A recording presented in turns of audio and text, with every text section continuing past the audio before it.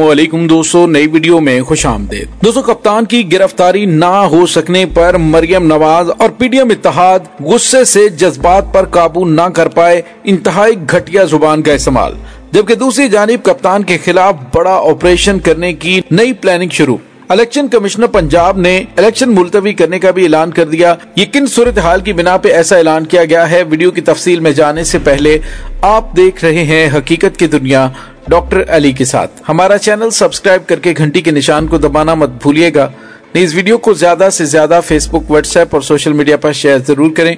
Share और like करने के साथ साथ कमेंट बॉक्स में पाक फौज जिंदाबाद, पाकिस्तान पाइंदाबाद और पाकिस्तान के गुमनाम हीरोज को सलाम का नारा कमेंट ज़रूर कीजिएगा। दोस्तों पंजाब में इमरान खान के खिलाफ ताकत का इस कदर इस्तेमाल किया गया कि जिसकी तारीख में मिसाल नहीं मिलती। जिस तरह से इमरान खान को गिरफ़्तार करने के लिए पुलिस, रेंजर और दीगर ताकतवर हलकों की जानब से एड़ी चोटी का ज़ोर लगा दिया गया तो इससे साफ़ पता चलता है कि इमरान खान को हर सूरत गिरफ़्तार करने के अहकाम दिए गए हैं। लेकिन दोस्तों, पाकिस्तानी अवाम ने अपनी जान पल खेल कर छत्तीस घंटे मुसलसल पुलिस की न सिर्फ़ शैलिंग को बर्दाश्त किया, उनकी जानब से डायरेक्ट फायर को बर्दाश्त किया, उनके लाठीचार तशद को बर्दाश्त किया, लेकिन अपने पास इस्तकलाल में लग्जिश नहीं आने दी और जिसका नतीजा ये निकला कि इमरान खान की तरफ़ कोई हाथ भी नहीं बढ़ा सका। दोस्तों, सवाल ये पैदा होता है कि पाकिस्तानी अवाम इमरान खान के बारे में इतनी ज़्यादा टची क्यों होगी? तो उसकी वजह यह है कि जिस तरह से राना सनाउल्ला की जानब से वाजे तौर पर कहा गया है कि हम इस फितने को इस तरह से खत्म करेंगे कि पाकिस्तान को निजात मिल जाएगी, इससे इनके इरादों का अंदाज़ा पाकिस्तानियों को हो चला है। इमरान खान जिन्होंने पहले ये फैसला किया था कि वो आज खुद गिरफ्तारी देते हैं, लेकिन पाकिस्तानी अवाम ने उन्हें ऐसा करने से मना किया क्योंकि उन्हें खदशा था कि इमरान खान को कत्ल कर दिया जाएगा।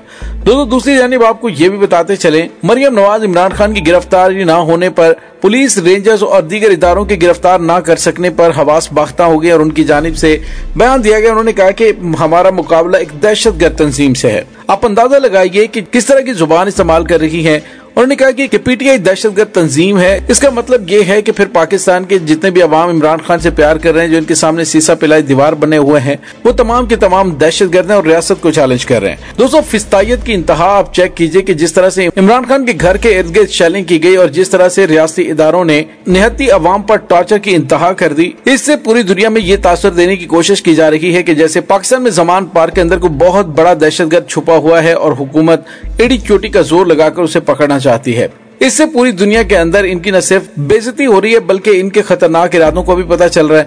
इसी वजह से अमेरिका की जानब से भी कहा गया कि ये कत्ल करना और गिरफ़्तार करके उनको फांसी पे लटकाने वाली रवायत को खत्म करना होगा। दोस्तों वज़ीर दिफा ख्वाजा आसिम ने कहा कि जमान पार्क में पैदा होने वाली कशीदगी में पुलिस सबर से काम ले रही है। जानी नुकसान न हो, वरना गिरफ्तारी मुश्किल नहीं है। उन्होंने कहा, इमरान खान की ख्वाहिश है कि जानी नुकसान होता ताकि वो लाशों पर सियासत करे।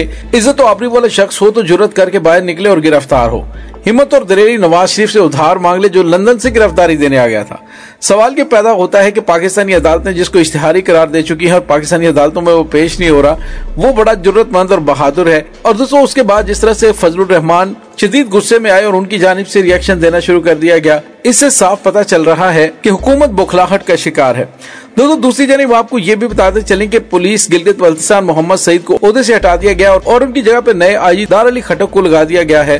हुकूमत ने नए आईजी गिलगित बल्तिस्तान डार अली खटक को हदायत की है कि जमान पाक से पुलिस को फौरी तौर पर वापस बुलवाया जाए। वफाकी हुकूमत ने अहदे से हटाए गए आई जी गिलगित बल्तिस्तान मोहम्मद सईद को जमान पाक से पुलिस नफरी वापस न बुलवाने पर अहदे से हटाया था। हुकूमत ने मोहम्मद सईद की जगह खैबर पख्तूनखा पुलिस में ग्रेड 20 के ऑफिसर दार अली खटक को आई जी गिलगित बल्तिस्तान लगा दिया है। दोस्तों दूसरी जानब आपको ये भी बताते चले कि पंजाब हुकूमत की जानब से ताहाल इलेक्शन कमिश्नर और रिटर्निंग अफसरान को मतलूबा सिक्योरिटी फराहम न करने पर बहाना बनाकर कहा जा रहा है कि इलेक्शन कमिश्नर पंजाब ने इलेक्शन कमीशन को आगाह किया कि सिक्योरिटी फराहम न की गई तो लाहौर में इलेक्शन का शेड्यूल मुअत्तल करना पड़ेगा। इलेक्शन कमिश्नर और रिटर्निंग अफसरान को मतलूबा सिक्योरिटी देने से इनकार कर दिया गया है और इलेक्शन कमीशन पंजाब ने कहा है कि आर के दफातर में कागजात नामजदगी जमा करवाते वक्त रश होता है, उम्मीदवारों और हामियों के दरमियान झगड़े हो रहे हैं। यही सूरत हाल रही तो लाहौर में इंतबात के शेड्यूल मुअत्तल करना पड़ेगा। सुबह इलेक्शन कमिश्नर के खदशात पर इलेक्शन कमीशन के नोटिस लेने का इम्कान है। इसी तरह खैबर पख्तूनखा इंतबात से मुतलिक इलेक्शन कमीशन का इजलास जुमे को होगा। इजलास का वक्त चीफ सेक्रेटरी और आई जी पंजाब की ख्वाहिश में तब्दील किया गया। इलेक्शन कमीशन ने चीफ सेक्रेटरी और आई जी खैबर पख्तूनखा को तलब कर रखा है। दूसरी तरफ़ मौलाना फजल रहमान ने कहा है की आज कहता हूँ इलेक्शन करवाएँ। जब तीन चार से हम कहते थे की मुस्ताफी हो जाए और इलेक्शन करवा दें तो क्यूँ इलेक्शन से भाग रहे थे? लेकिन आपने सासी बयानिया का सहारा लिया। अब इमरान खान इलेक्शन के लिए ज़ोर लगा रहे हैं, हमें कुछ चीज़ों पर तहफात हैं फाटा और खैबर पख्तूनखा में अमन नहीं है। इंजमाम के बाद मरदमशुमारी और नई वोटर लिस्टों और हल्का बंदियों का मसला है। यानी आप अंदाज़ा लगाइए कि किस तरीके से ये इलेक्शन से भागने की कोशिश कर रहे हैं कि किसी तरीके से हमें कोई न कोई राह फरार मिल जाए और हम उसके ज़रिए इलेक्शन को पोस्टपोन कर लें या मुल्क के अंदर जमान पार के मामले में ऐसे हालात पैदा कर लें कि जिससे मुल्क में मार्शल लगा दिया जाए। दोस्तों दूसरी जानब आपको ये भी बताते चले कि तोशा खाना के मामले में जो इमरान खान के खिलाफ प्रोपोगंडा किया गया था, जब इनकी अपनी धोतियाँ खुली हैं तो उसके बाद अब इन्होंने मीडिया पर आकर तोशा खाना के हवाले से बातें करना शुरू कर दी है। पाकिस्तान पीपल्स पार्टी के मरकजी रहनुमा और वफाकी मुशीर कमर जमान कायरा ने कहा कि फैसला किया गया है कि तोशा खाना से सौ फ़ीसद कीमत पर ही तोहफा खरीदा जा सकेगा। तोशा खाना की लिस्टें जारी हुई तो एक वावेला मच गया। मेरी नज़र में इमरान खान का तोहफा बेचना गैर इखलाकी है। उन्होंने कहा कि रिकॉर्ड जो मीडिया पे आया है, इसका किसको नहीं पता था। कहा गया कि इमरान खान ने कौन सा अनोखा काम किया, उन्होंने कहा, मेरी नज़र में तोहफा बेचना गैर इखलाकी था, अगर तोहफा बेच दिया तो तोहफा देने वाला मुल्क क्या इज़्ज़त करेगा? इमरान खान ने तहाइफ मुल्क से बाहर बेचे और बाहर से आने वाला पैसा भी डिक्लेयर नहीं किया। उन्होंने कहा कि इमरान खान के दौर में फैसला हो कि पचास फ़ीसद कीमत पर तोहफे खरीदे जा सकते हैं।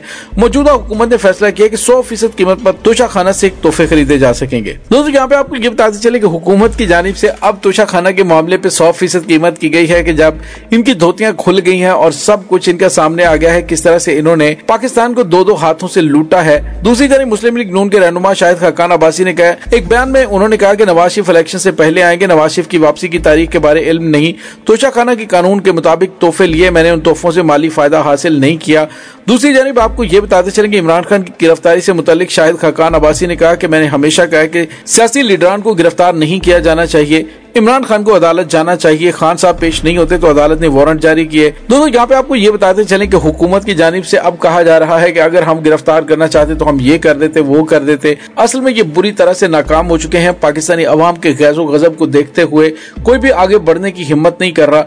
दूसरी जानब आपको ये बताते चले कि कुछ ऐसी खबरें भी आ रही हैं कि कल सुबह दस बजे से पहले पहले पाकिस्तान तहरीक इंसाफ के चेयरमैन इमरान खान को गिरफ़्तार करने के लिए एक बड़ी मनसूबा बंदी की गई है, जिसके ज़रिए कुछ ऐसे हथियारों का इस्तेमाल किया जा सकता है जो सिर्फ़ हंगामी हालात में इस्तेमाल किए जाते हैं। दूसरी जानब पाकिस्तान तहरीक इंसाफ ने तमाम तर सूरत हाल से निमटने की तैयारियाँ मुकम्मल कर ली है। कारकुनों की बड़ी तादाद जमान पार्क में इमरान खान की हिफाजत आरोप मामूर है और उन्होंने वहाँ ऐसी तब तक हिलने ऐसी इनकार कर दिया है, जब तक इमरान खान की गिरफ्तारी को मुअत्तल करने के हवाले ऐसी हतमी फैसला नहीं आ जाता। दोस्तों, दूसरी जानब आपको ये बताते चले कि इमरान खान की जानब जिस तरह से कहा गया था कि लंदन में प्लानिंग की गई है कि उन्हें गिरफ़्तार किया जाएगा या फिर उन्हें मार दिया जाएगा तो इस हवाले से सबक सेक्रेटरी दिफा और retired lieutenant general Khalid Naeem Lodhi ने इस बात की तस्दीक की उन्होंने कहा है कि मुस्तनद जराये से सुना है, वो ये है कि लंदन प्लान दो हिस्सों पर मुश्तमिल है। एक हिस्सा तो ये था कि इमरान खान को हुकूमत से बेदखल करने के बाद नवाज़ शरीफ वापस पाकिस्तान आ जाएँ और अदालतों से उन्हें रिलीफ मिल जाए। सेक्रेटरी दिफा के मुताबिक इस प्लान का पहला हिस्सा तो कामयाब नहीं हो सका, क्योंकि अदलिया ने यह तस्लीम ही नहीं किया कि नवाज़ शरीफ को क्लीन चिट दे दी जाए। उनके लिए अब इस मौजू पर बात करना आसान नहीं है, लेकिन वो ये ज़रूर समझते हैं कि लंदन प्लान नाकाम हो रहा है और आखिर में वही होगा जो पाकिस्तानी आवाम की मंशा है। उनकी राय है कि इस वक्त खुद भी पुलिस का दिल इमरान खान को गिरफ़्तार करने का नहीं है। दोस्तों, इस तमाम सूरत हाल के बारे में आपका क्या कहना है? कमेंट सेक्शन में अपने ख्याल का इजहार ज़रूर कीजिएगा। इनशाला बहुत जल्द मिलते हैं एक नई वीडियो में। तब तक के लिए अपना बहुत सारा ख्याल रखिएगा। पाक फौज जिंदाबाद, पाकिस्तान पर जिंदाबाद। पाकिस्तान के गुमनाम हीरोज को सलाम। अल्लाह वारिस